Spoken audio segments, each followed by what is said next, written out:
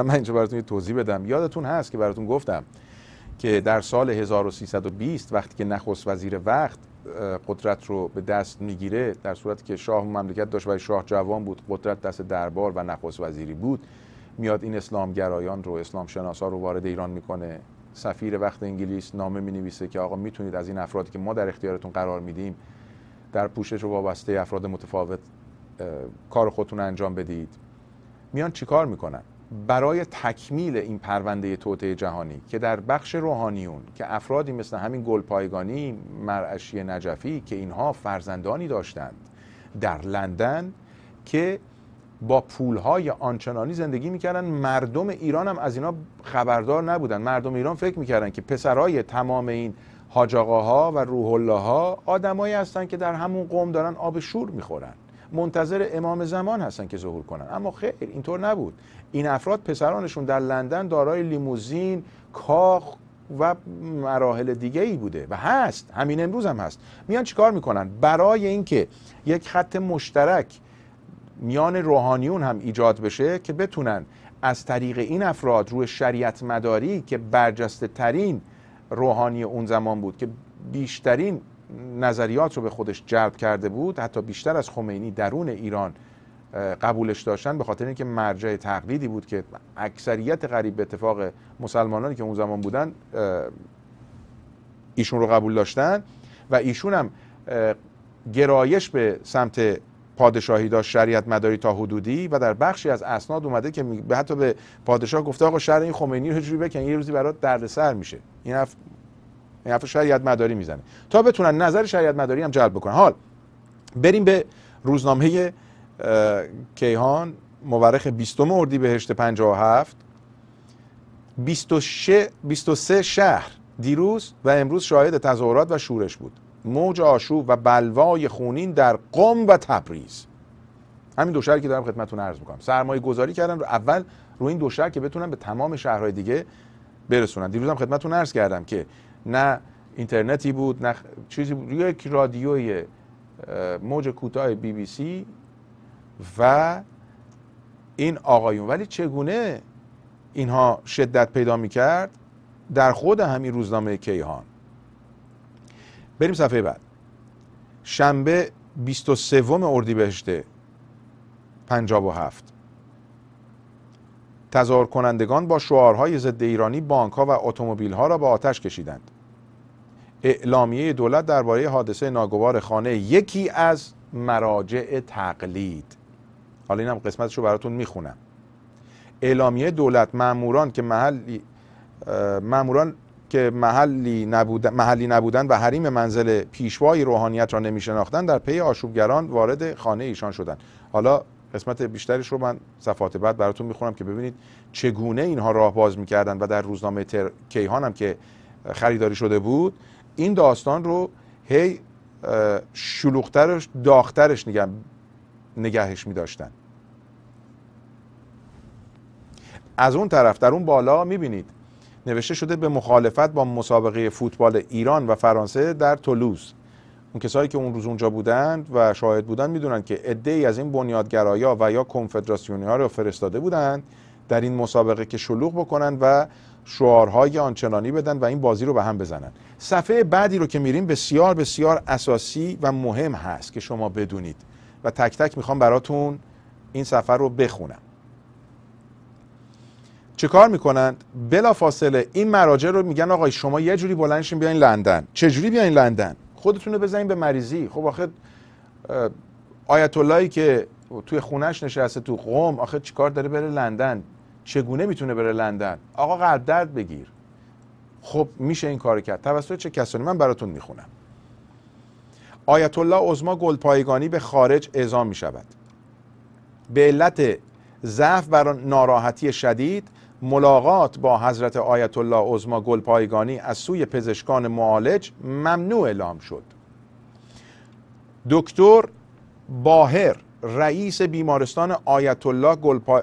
رئیس بیمارستان حالا بیمارستان آیت الله گلپایگانی بودن یا نبودن و پزشک معالج ایشان گفت خوشبختانه آرزه تازه‌ای ناشی از حمله قلبی در حضرت آیت الله دیده نشد و ضربان نبض ایشان بین 72 تا 80 در نوسان است. فشار خون ایشان حضرت آیت الله نیست ثابت و حدود 13 و نیم روی 8 و نیم است. دکتر باهر افسود هنوز حضرت آیت الله عظما گلپایگانی دچار ضعف شدیدی هستند و به نظر می رسد به استراحت بیشتری نیاز دارند. چقدر باید استراحت کنه 80 سال اینا خوردن خوابیدن. دستشون از دختر 14 ساله نازکتره. نرم و نازکتره.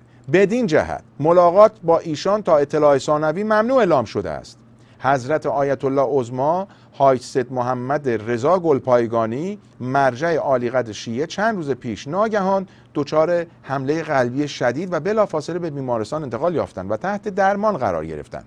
پزشک معالج آیت الله پریروز اعلام کرد هرچند حال ایشان پس از انتقال به بیمارستان رو به بهبود گذاشته شده است اما در صورت لزوم پزشکان متخصص قلب در تهران کمک از, از اونها کمک خواهیم خواست. گزارش بعدی خبرنگاران کیهان آکیست که این پزشکان معالج ایشان حالا به طور کلی دیگه اسمش اینقدر طولانیه آقای گلپایگانی اعلام داشتن که امکان حضرت آیت الله به تهران و یا خارج از کشور برای معالجه اعزام امکان پذیر است و غیره. خب ایشون میره به لندن.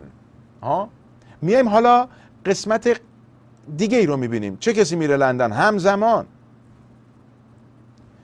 آیت الله عثمان نجفی مرعشی همون کسی که خدمتتون عرض کردم.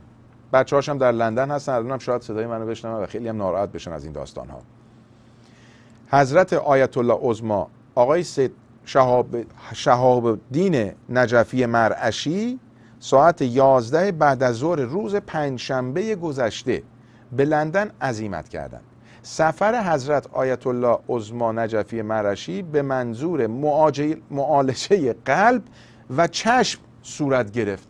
اینها تمامشون یک دفعه خونهشون بم می‌ذارن یا قلب درد می‌گیرن یا چشم درد می‌گیرن همه مسیرشون هم به لندنه. حال در بالا.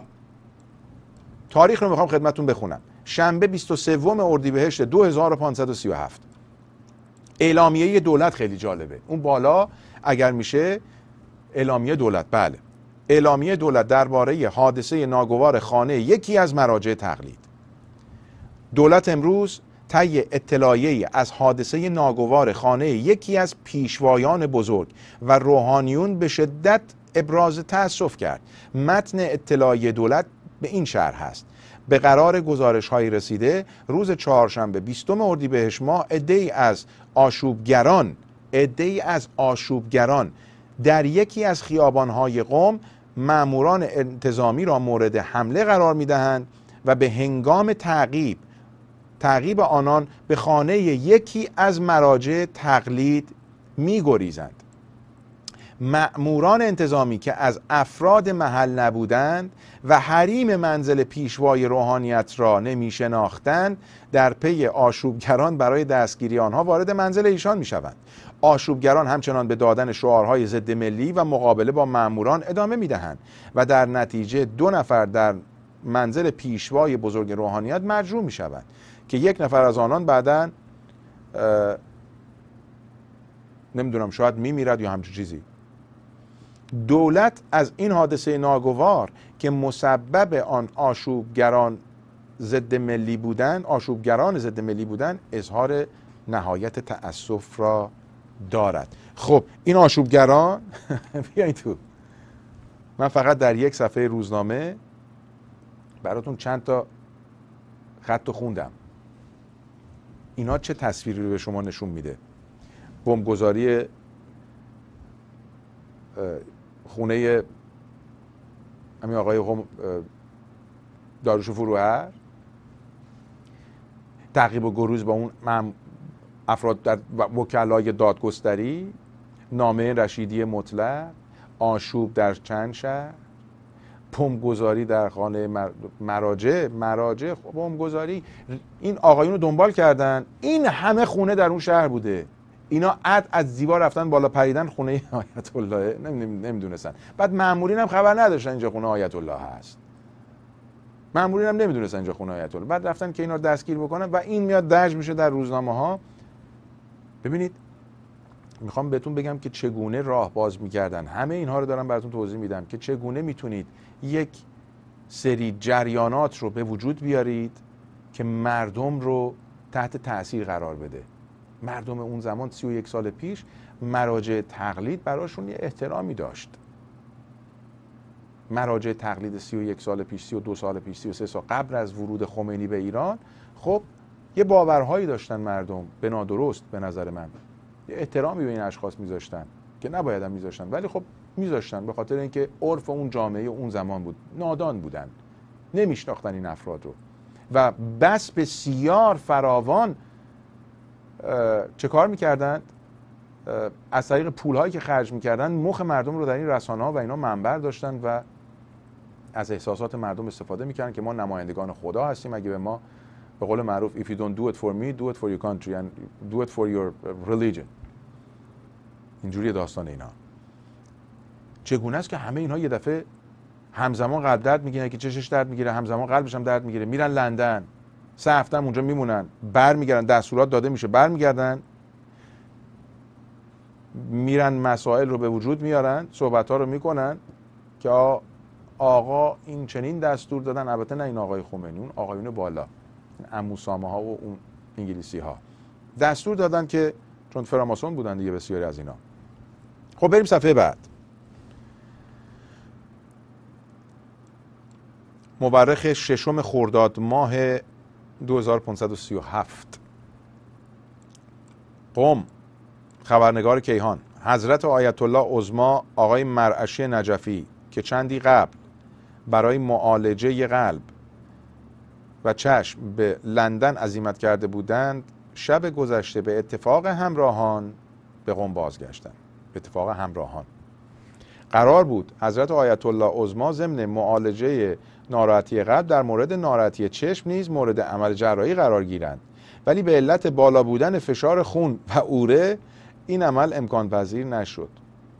یعنی کارشون تموم شد. دیگه گفتن آقا این سه هفته بس اینا نمی‌خواد دیگه چشم درست, درست بکنید. چشم احتیاجی نیست. در آینده ما چند تا چشمت میدیم. در آینده این نچندان دور. مداوای ایشان توسط یک گروه پزشکی صورت گرفت و این گروه به اتفاق معالجات پزشکان معالج در ایران را مورد تایید قرار دادند. در حال حاضر حضرت آیت الله نسبتا رو به بهبود از حال ایشان و در قوم مداوا خواهند شد. یعنی ادامه پیدا خواهد کرد مداوای ایشون. خب بریم صفحه بعد. اگر میشه. هفتم خورداد ببینید یک به یک این حاج ها روح الله ها این شیاطین دارن یک به یک به تهران و یا از خارج به ایران و یا از شهرهای کوچک به شهرهای بزرگتر انتقال داده میشن و به قول معروف به قول معروف خودشون از تبعید در میان. حضرت آیت الله حاج سید محمد وحیدی. حضرت آیت الله حاج سید محمد وحیدی برای مداوا امروز از قم به تهران منتقل و در بیمارستان تهران کلینیک بستری شد. حضرت آیت الله وحیدی چند روز قبل دچار حمله قلبی شدند و به دستور پزشکان متخصص پس از سه روز استراحت برای درمان به تهران انتقال یافتند. پزشکان معالج در تهران ناراحتی حضرت آیت الله را حمله قلبی و پایین بودن فشار خون دانستند. حضرت آیت الله که دارای فاتی در رشته های علوم اسلامی فقه و اصول هستند در مسجد امام قم تدریس می نمایند و جمع زیادی از طلاب علوم دینی و فضلا در جلسات بحث ایشان شرکت می کنند چون اون زمان اینجوری بوده. تمام اینا اکثرشون زیر نظر بودن که اگر از جایی به جای دیگه میرن خب گزارش بدن. و بعد اومدن چیکار؟ بریم صفحه بعد. تبلیغات رو می‌خوام بهتون بگم که اون زمان چگونه تبلیغ می‌کردن. همه رقم همه چی دست به دست هم می‌داده تا تبلیغات اسلامی انجام بشه. صفحه بعد کیهان که مورخ به تاریخ به تاریخ ببخشید بله. یک شنبه هفتم خورداد است. کل صفحه از بالا تا پایین به مناسبت میلاد خجسته فاطمه زهرا بانوی بزرگ اسلام. این تبلیغات اسلامی است. صفحه بعد.